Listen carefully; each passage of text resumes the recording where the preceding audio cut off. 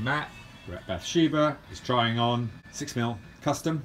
What I'm actually going to do on your left foot, I'm going to put the next size down, believe it or not. Oh. Obviously a size down.